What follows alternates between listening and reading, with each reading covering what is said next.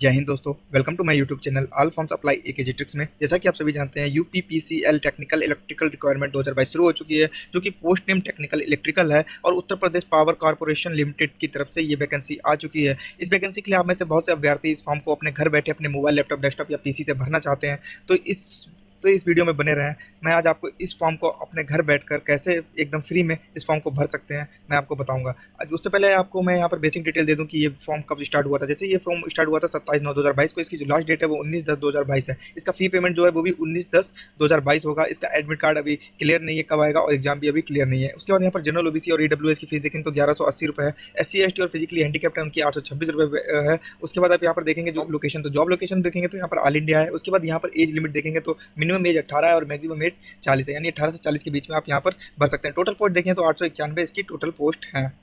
उसके बाद आप थोड़ा सा नीचे आ जाएँगे। नीचे आने के बाद आपको यहाँ पर लिखा है, यहाँ पर लिखा है पोस्ट डिस्क्रिप्शन तो आप यहाँ पर इसके बारे में देख सकते हैं कि पोस्ट के बारे में क्या है। उसके बाद यहाँ पर पोस्ट नेम जो है टेक्निकल इलेक्ट्रिकल है। उसके बाद नंबर ऑफ़ पोस्ट यानी कि आठ सौ इक्यानवे पोस्ट पर यह भर्ती निकली है कैटेगरी वाइज यानी जनरल की तीन सौ सत्तावन पोस्ट है ओबीसी की दो सौ इकतालीस है एस की एक सौ सतासी है और एसटी की सत्रह पोस्ट है। ऐसे ई डब्ल्यू एस की नवासी पोस्ट पर वैकेंसी ये निकली है। उसके बाद आप पे स्केल्स देखेंगे तो यानी कि जो भी आपकी सैलरी होगी, सत्ताईस हज़ार दो सौ बनेगी और क्या नाम है लेवल चार तक ये बढ़ेगी। उसके बाद यहाँ पर एजुकेशनल क्वालिफिकेशन देखेंगे तो यहाँ पर देखेंगे ten plus two with science and math subject होना चाहिए with I certificate to electrical या इलेक्ट्रीशियन के साथ में आपका होना चाहिए। उसके बाद लिखा है how to apply U P technical electrical online form दो हज़ार बाईस, यानी कि इस फॉर्म को आप कैसे भर सकते हैं? तो इसकी ऑफिशियल वेबसाइट पर जाकर आप भर सकते हैं, जो कि आपको मैं डिस्क्रिप्शन में दे दूँगा, आप देख सकते हैं। उसके बाद यहाँ पर आपको क्या क्या ज़रूरत पड़ेगी इस फॉर्म को भरने के लिए? या टेंथ यहाँ पर पड़ेगी आपको टेंथ ट्वेल्थ और I T marksheet and certificate उसके बाद यहाँ पर लिखा है आधार कार्ड, जो आधार कार्ड ज़रूरत पड़ेगी आपको, यहाँ पर पैन कार्ड की ज़रूरत पड़ सकती है। उसके बाद पासपोर्ट साइज़ फ़ोटो और सिग्नेचर की फ़ोटो मैं आपको बता दूँ, यहाँ पर आपको पासपोर्ट साइज़ फ़ोटो और सिग्नेचर की ज़रूरत पड़ेगी। हाई स्कूल और इंटर की अपलोड के लिए ज़रूरत नहीं पड़ेगी। यहाँ पर सिर्फ़ इसकी डिटेल की ज़रूरत पड़ेगी। उसके बाद यहाँ पर देखिए सिलेक्शन मोड सिलेक्शन मोड में यहाँ पर सीवीटी एग्जामिनेशन होगा। उसके बाद यहाँ पर फाइनल मेरिट लिस्ट लग जाएगी।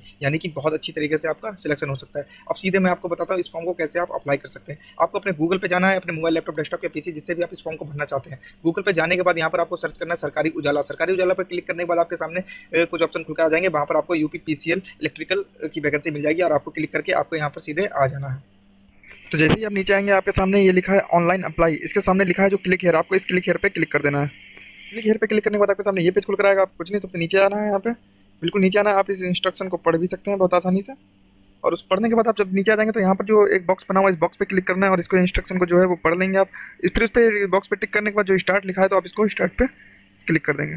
उसके बाद आपके सामने ये पेज खुल कर आ जाएगा, आप इसको क्लोज कर देंगे। क्लोज करने के बाद आप यहाँ पर आएँगे तो आपके सामने यहाँ लिखा है कैंडिडेट्स पर्सनल डिटेल्स तो इस पर्सनल डिटेल्स में आपको क्या करना है? उसके बाद यहाँ पर लिखा है अपलीकेंट फुल नेम तो यहाँ पर आपको अपना फुल नेम दे देना है, पूरा नाम यहाँ पर आपको भर देना है। उसके बाद यहाँ पर लिखा है फादर्स या गार्जियंस फुल नेम तो यहाँ पर आपको अपने पिताजी का या गार्जियंस का जो भी हो, उनका आपको पूरा नाम दे देना है उसके बाद यहाँ पर लिखा है अप्लीकेंट मदर्स नेम तो यहाँ पर आपको अपनी माता जी का नाम दे देना है उसके बाद यहाँ पर आपको मोबाइल नंबर यहाँ पर आपको मोबाइल नंबर को कंफर्म कर देना है उसके बाद यहाँ पर अल्टरनेट मोबाइल नंबर अगर आपके पास एक से अधिक कोई मोबाइल नंबर है तो आप यहाँ पर दे सकते हैं अन्यथा कोई बात नहीं उसके बाद यहाँ पर आपको अपनी ईमेल आईडी दे देनी है और उसके बाद यहाँ पर कन्फर्म ईमेल आईडी दे देनी है कन्फर्म ईमेल आईडी देने के बाद आपको थोड़ा सा नीचे आ जाना है नीचे आने के बाद जो ये कैप्चा कोड है इस कैप्चा कोड को यहाँ पर भर देना है उसके बाद यहाँ पर आपको जो रजिस्टर यहाँ पर लिखा हुआ है इस रजिस्टर पर क्लिक कर देना है तो जैसे ही आप रजिस्टर पर क्लिक करेंगे आपके सामने ये पेज खुल कर जाएगा आपको यहाँ पर क्लोज कर देना है इसको क्लोज करने के बाद आपको यहाँ पर थोड़ा सा नीचे आना है।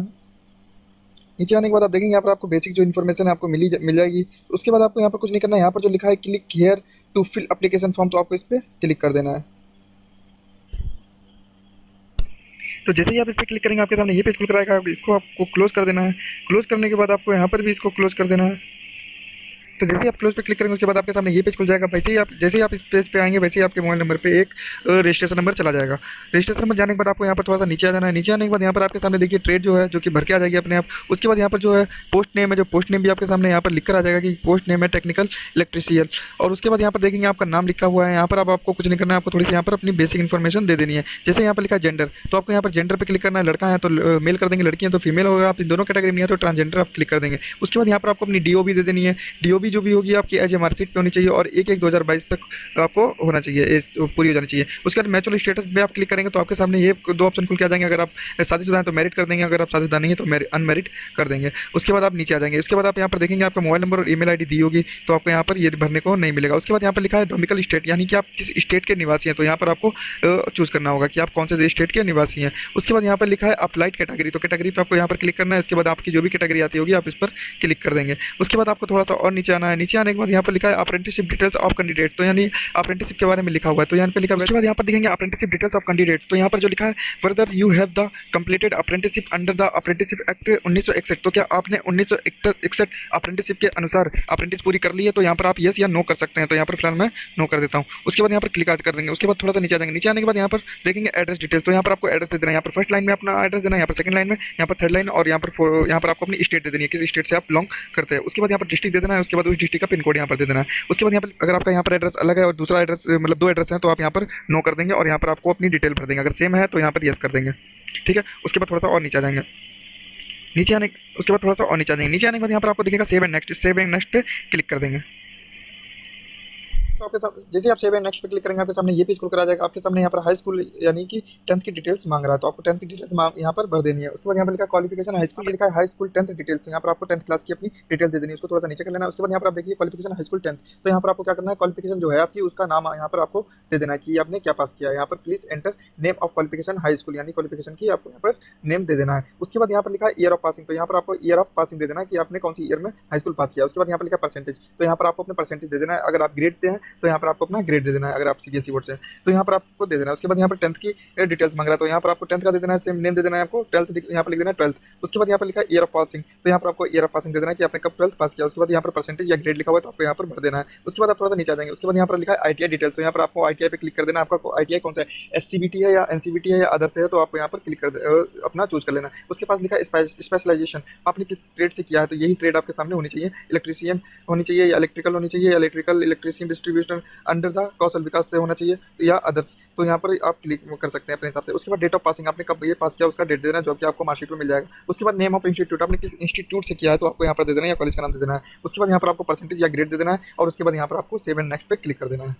जैसे ही आप सेवन नेक्स्ट पे क्लिक करेंगे, आपके सामने ये पेज खुलकर आ जाएगा। यहाँ पर आपके सामने लिखा है upload your recent passport size photo colour photograph तो यहाँ पर आपको अपना फोटोग्राफ दे देना, जो कि सौ के में होना चाहिए। मैक्सिमम जो है इसका साइज़ जो सौ के भी होना चाहिए। अगर आपको ये साइज़ घटाना बढ़ाना नहीं आता तो आप मेरे एक वीडियो में जा सकते हैं, जो कि आपको डिस्क्रिप्शन में मैं लिंक दे दूँगा तो आप यहाँ पर देख सकते हैं फ़ोटो का साइज़ कैसे घटाया, बढ़ाया जा सकता है। तो आप बहुत आसानी से उस साइज़ को घटा बढ़ा सकते हैं। उसके बाद लिखा है यहाँ पर अपलोड योर स्कैन सिग्नेचर यहाँ पर आपको अपना सिग्नेचर अपलोड कर देना, जो कि मैक्सिमम साइज़ जो है तीस के होना चाहिए, जो कि पी या जीपीजी मोड में फॉर्मेट में होना चाहिए। तो आप यहाँ पर अपलोड कर देंगे। अपलोड करने के बाद आपको यहाँ पर थोड़ा सा देखिए, नीचे आना है। नीचे आने के बाद यहाँ पर जो कोड है, यहाँ पर आपके सामने आ जाएगा। फ़ीस जो लिखी हुई है आठ सौ छब्बीस रुपये आपकी फ़ीस कटेगी। ये आपको यहाँ पर लिख के आ जाएगी अपने आप। उसके बाद यहाँ पर जो डिक्लेरेशन लिखा हुआ है, इसको आप पढ़ लेना है, यहाँ पर पढ़ना है। और यहाँ पर आपको जो बॉक्स है, इस पर क्लिक कर देना है। बॉक्स पर क्लिक करने के बाद आपके सामने ये कैप्चा कोड होगा, जो आपको भर के यहाँ पर जो आई एग्री लिखा है, इस बॉक्स पर क्लिक करने के बाद सबमिट पर क्लिक कर देना होगा।